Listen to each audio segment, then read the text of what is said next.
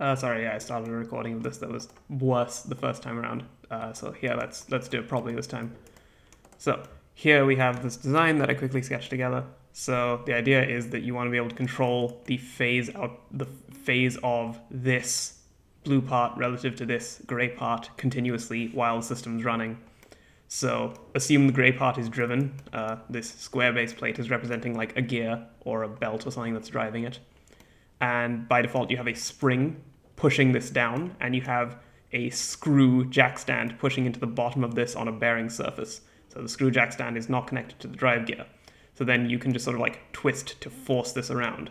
So by default, with um, everything sort of in steady state with a screw, with a spring pushing down and a screw holding this in place, if this runs, these will all turn together because this pin here in blue will bear the force and rotate the whole thing. It can't go up because it'll hit the spring, it can't go down because it'll hit the screw. Then you tighten the screw and you force the blue piece up. And when you force the blue piece up, it'll rotate relative to the gray piece, and you'll get a relative phase shift.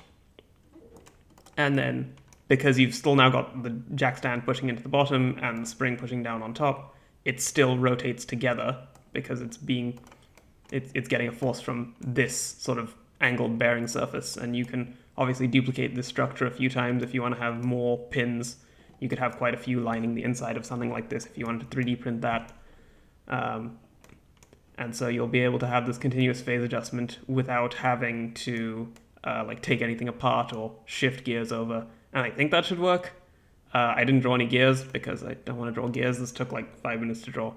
So I think that's correct at least.